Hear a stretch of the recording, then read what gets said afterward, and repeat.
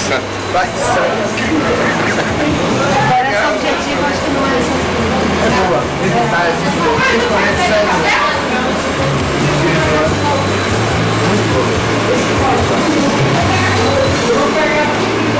Essa criança aí. Né?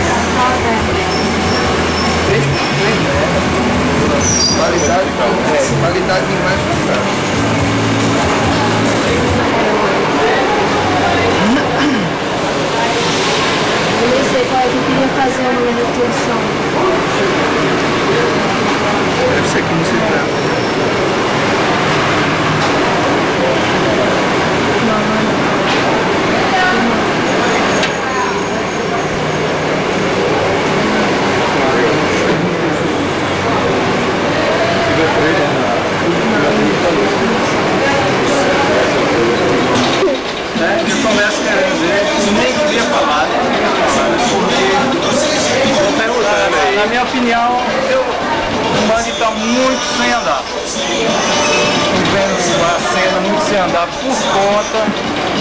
Sistema dessa música que continua aí. Né?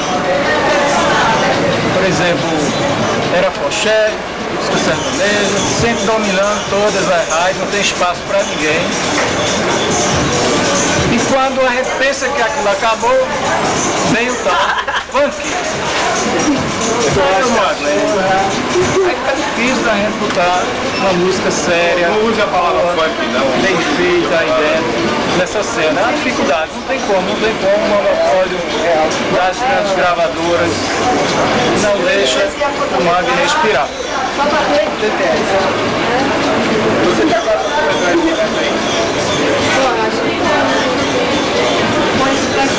Usado. O que é mangue?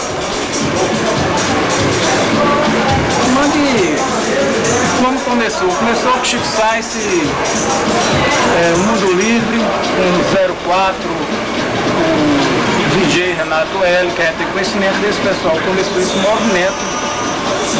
E que deram o nome de Mangue Beats, que a gente sabe aí desse, dessas bandas aí, e surgiu o primeiro disco de Chico Sainz, com maracatu, bem forte, os instrumentos chama-se alfaia, um instrumento grande, bem incorporado dentro da música, com guitarras. Ficou uma espécie de um rock com uma levada do ritmo de maracatu. Com essa música assim, Vai ficar bem focadinho. Mangue Beats. Agora, Cirão, uma palavrinha aqui agora.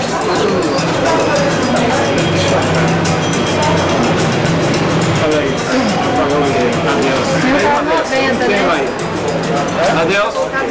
Baterista do querosene. Vai chuvoso, né? Essa história aqui de que é Mangue Beat é complicado. Eu falei bem simples, é isso aí. Porque, por exemplo, antes não tinha esse beat aqui. Tá? Era só mangue. E tem uma música do Mundo Livre que é Mangue Beat B e T. Aí a imprensa acabou colocando Mangue Beat. A imprensa pegou e colocou Mangue Beat aí. é, não sei de onde surgiu também esse beat B é a T, né? Como se fosse um ritmo, né? Aí Até hoje o pessoal não se entende, muita gente não se entende, mas. Pereira.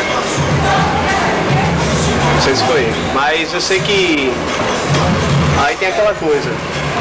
Pra mim, pra mangue é, é só um ritmo. É mais uma questão de, sentimento mesmo, de. É, como é que se diz? Uma filosofia, assim, não é porque você vai ver que tem. É. Vamos dizer. É um, um ecossistema, falando assim, em termos ecológicos. Seria um ecossistema que, que abrange toda a diversidade da, da cultura do Recife. Então você vê que nesse contexto está inserido tanto a ciranda de Ilha de Itamaracá quanto o hardcore do Devote. Tá entendendo? Aí tudo isso poderia ser chamado de mangue, né? Aí, vamos ver outras coisas aqui. Olha, aqui no Recife é o seguinte, aqui ela pergunta a receptividade. É boa, mas aqui Eu acho que é o único lugar que se toca mais forró, no axé, todo tipo de música que vem assim, dessas grandes gravadoras. A gravadora joga aqui, aqui eu acho que 93% consome essa música. Fica 3%, 3% para ouvir o Maribito.